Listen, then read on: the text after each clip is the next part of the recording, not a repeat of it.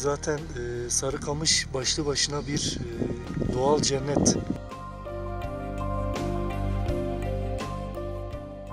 E, bitki çeşitliliği çok fazla.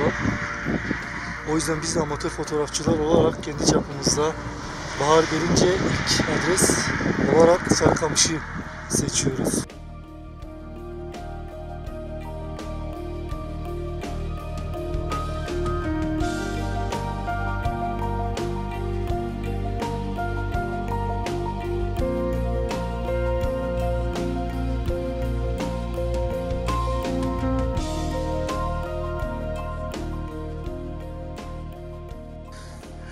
Gerçekten bütün dostları da buraya bekliyoruz. İkbali bir başka güzel Sarıkamış'ın.